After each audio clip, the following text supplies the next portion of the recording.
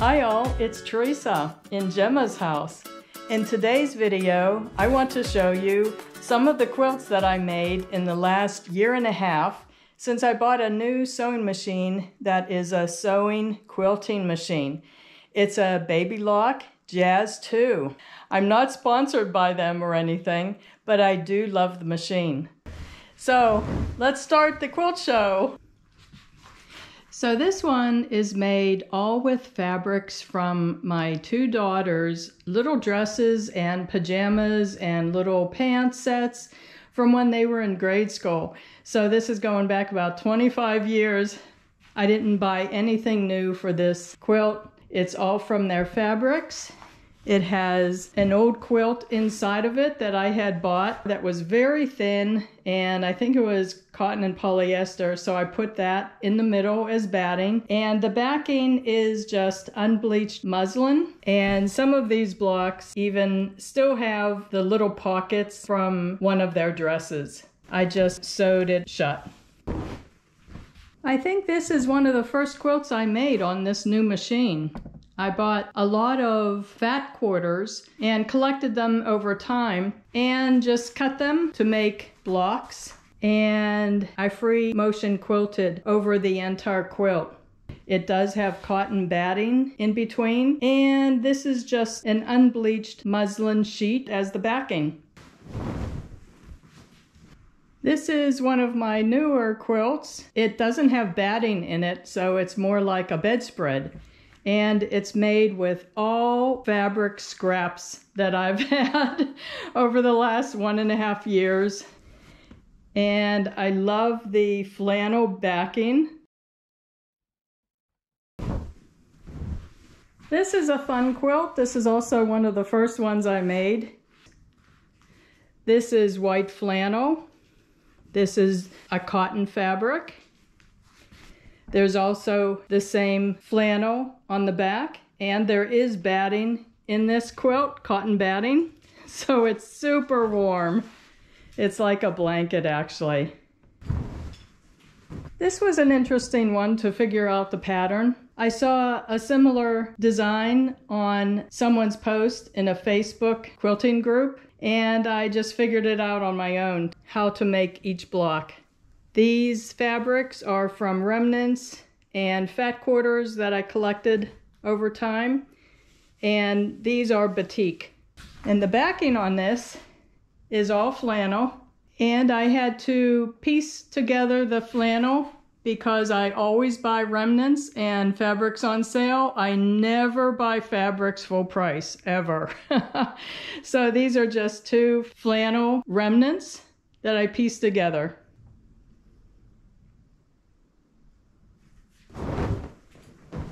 This is another one of the bedspreads. It doesn't have any cotton batting in the middle. These are all small one yard pieces of fabric and scraps. And I laid it out on the floor in rows and I had to put the dog gates up so that Gemma didn't crash through them because she did it once and messed up my design. I free motion quilted all over this quilt also.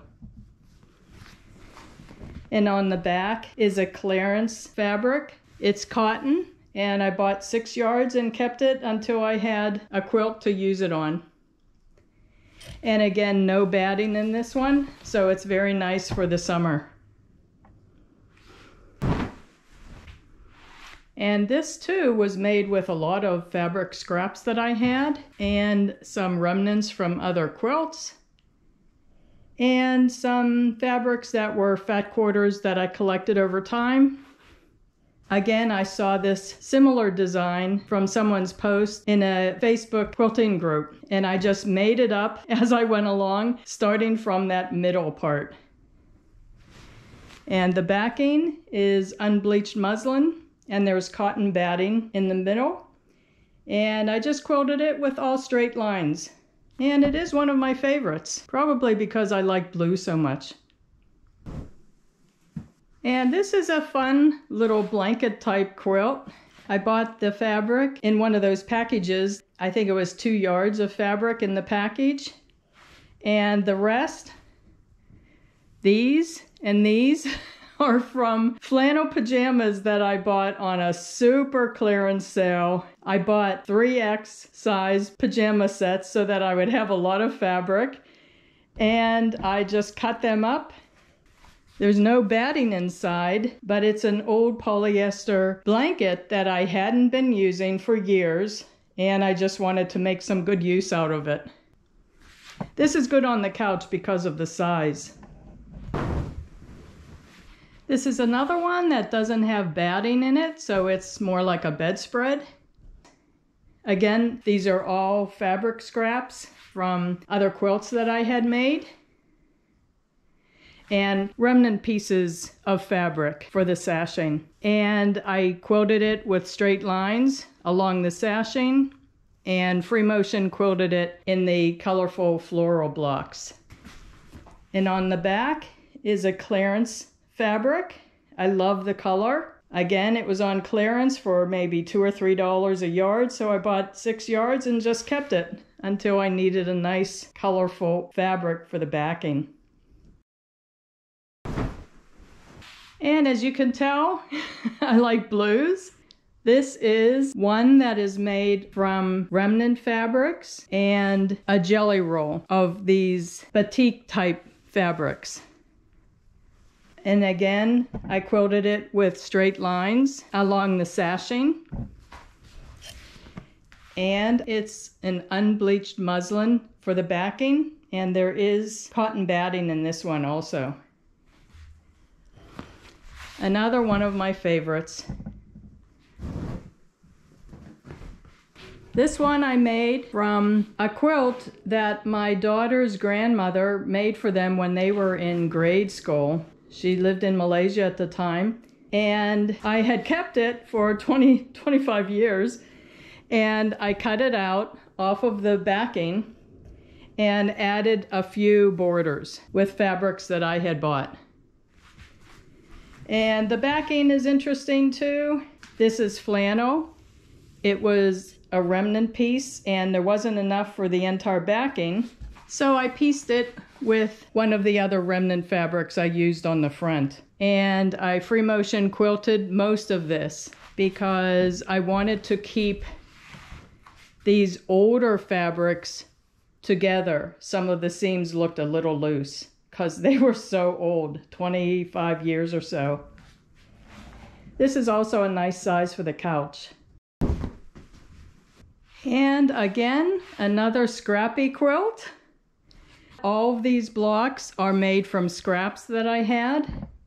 And then I added the sashing with fabrics that I bought. They were remnant fabrics or fabrics from a jelly roll that was black on black fabrics.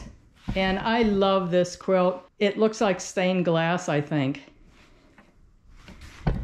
On the back, is a nice flannel. Again, I bought at Clarence. I pieced together two remnant pieces to have enough fabric for the backing. And there is 100% cotton batting in this one also. And this one, I remade it from a duvet cover that I had made about 30 years ago. So I just cut it apart and made a quilt out of it. This entire top was the duvet cover top. I didn't change that at all. But I added a nice flannel sheet that I had that I also wasn't using. It's really a nice heavy sheet. There's batting inside of this one too, cotton batting.